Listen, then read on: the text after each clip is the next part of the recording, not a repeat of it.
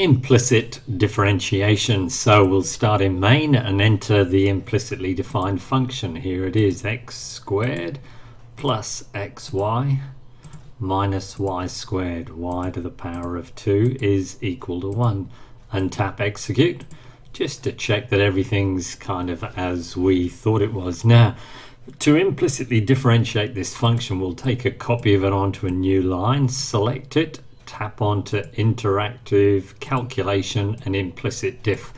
Um, now, we could have just put imp diff on the next line and tapped execute because everything is exactly how we want it. The defaults are there, so we can simply tap OK.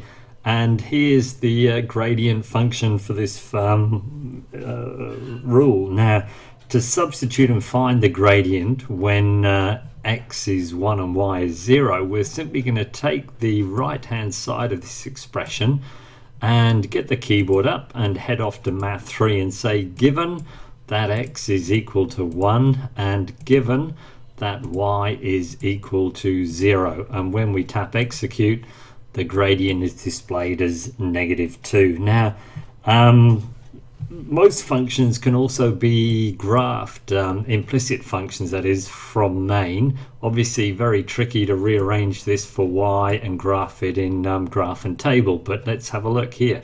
If we tap on the uh, graph icon, select the function in the top window and drag it into the bottom window, there it is. You can see there is our actual implicitly defined function and what we just determined was at 1, 0, which is just here, the gradient is negative 2.